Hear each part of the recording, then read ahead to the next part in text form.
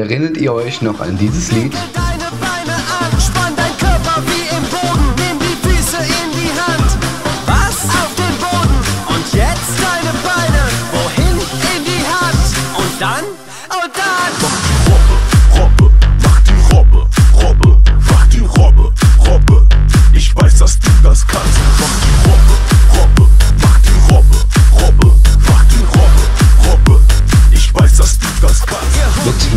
Robbe machte der deutsche YouTuber Julian Bam auf eine grausame Tradition in Kanada aufmerksam. Ich habe mich gefragt, welche grausamen Traditionen zum Leidwesen der Tiere noch heute im 21. Jahrhundert durchgeführt werden. Und die Liste ist erschreckend lang, also bleibt dran.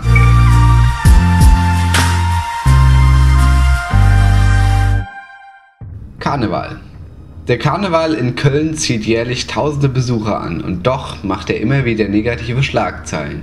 So auch im Februar 2018, als zwei Zugpferde durchgingen und mehrere Menschen verletzt wurden. Seit diesem Vorfall ist die Debatte um ein Verbot von Pferden wieder aufgeflammt. Rund ein Jahr später forderte die Tierschutzorganisation PETA die Oberbürgermeisterin von Köln auf, Karnevalsumzüge ohne Pferde durchzuführen. Dieser Forderung ist man nicht nachgekommen und doch waren insgesamt weniger Pferde in Köln am Umzug beteiligt. Sicher ist wohl, dass die Tiere in einem Umzug auf ungewohnte Bedingungen wie lauter Musik oder engen Gassen treffen und somit einem enormen Stress ausgesetzt sind.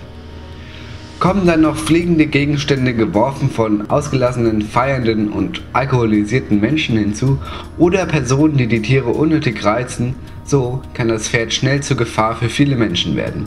Doch diese Debatte wird sich wohl noch etwas hinziehen. Ich bin gespannt, wie sich das noch entwickelt und stehe weiterhin für ein Verbot von Pferden im Karneval. Halal. Dieser islamische Brauch ist heiß diskutiert. Halal bedeutet so viel wie erlaubt und bezieht sich auf das Fleisch eines Tieres, das vollständig ausgeblutet ist. Nun, das wirkt nun erst einmal für Fleischesser wenig grausam. Doch der eigentliche viel diskutierte Punkt dabei ist, ob man das Tier nun vorher betäubt oder nicht. Grundsätzlich ist eine betäubungslose Schlachtung in Deutschland verboten. Doch wie passt das mit der in unserem Grundgesetz verankerten Religionsfreiheit zusammen? Ob nun erlaubt oder nicht, ich glaube, wir sind uns alle einig. Die Halal-Schlachtung ist grausam und unverhältnismäßig und somit eine der grausamsten Traditionen. Wettbewerb um das dickste Schwein. In Taiwan wird noch eine Tradition gelebt, die vor 200 Jahren zu Ehren einer Gottheit entstanden sein soll. Bei diesem Wettbewerb wird das dickste Schwein, das zuvor qualvoll gemästet wurde, einer Gottheit geopfert. Je größer das Schwein, desto mehr Glück für den Eigentümer, so dem Glauben nach.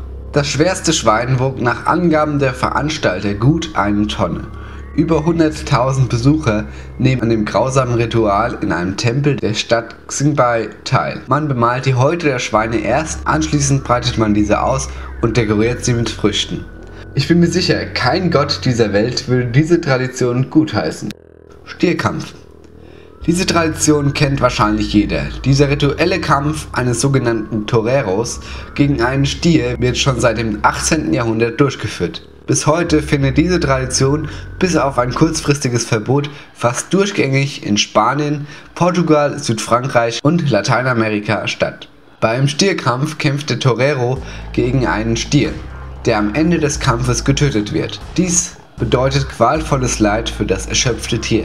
Dass diese Tradition ethisch nicht vertretbar ist, sollte jedem klar sein.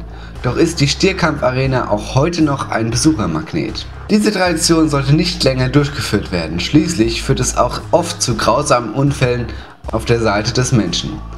Wobei ich natürlich wenig Mitleid für diese empfinde. Tierquälerei darf nicht zur Show gemacht werden. San Fermines.